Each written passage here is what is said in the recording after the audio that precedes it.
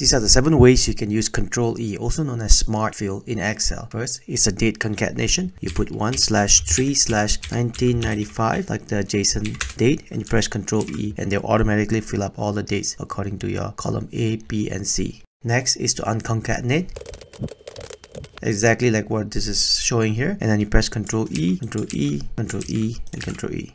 Next is to retrieve data from cell from column A and press Ctrl E and you will do the same thing for column B. Another thing you can do with Ctrl E is to add text to cell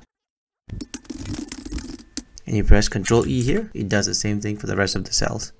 You can add space, brackets and dash, let's say for example this cell here and then you press Ctrl E and you follow the same format.